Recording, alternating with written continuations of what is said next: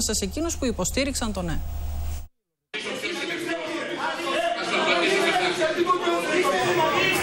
Φωτιές άναψε το δημοψήφισμα στους δημάρχους ανάμεσα σε όσους υποστήριζαν το όχι και όσους στρατεύτηκαν με το ναι. Συνάδελφοι, σας παρακαλώ, σας παρακαλώ. Η έκτακτη συνέλευση των ερετών ξεκίνησε με αντεγκλήσεις και φραστικές επιθέσεις.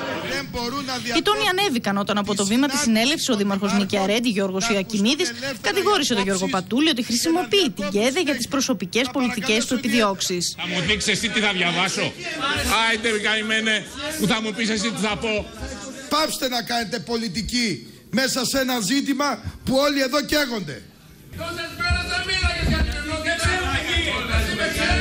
Τα πνεύματα οξύνθηκαν και πάλι όταν στο βήμα της συνέλευσης ανέβηκε ο Δήμαρχος Εγάλου, ο Δημήτρης Μπύρπας. Εγώ σας προτείνω κάτι άλλο. Να διεκδικήσετε την ηγεσία που τόσο πολύ διακαώς διατυπώνεται μιας υποδιάλυσης κεντροδεξιάς.